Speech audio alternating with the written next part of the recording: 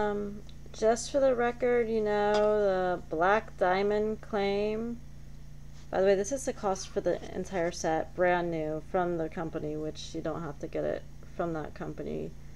And you can get it from independent people for like between like 290 to like 320 yeah and they're never made out of like he remember he said they were black diamonds? They're never made out of that. Nope they don't have that.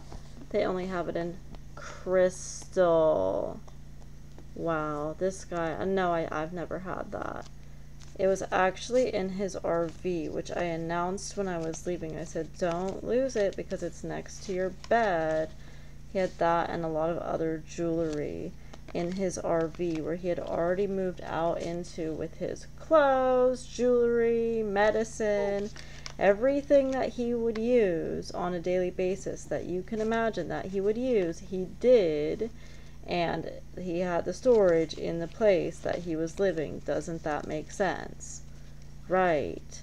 And so I'm really sick of this shit that has nothing to do with my problem. I've never had this in my possession. Thanks.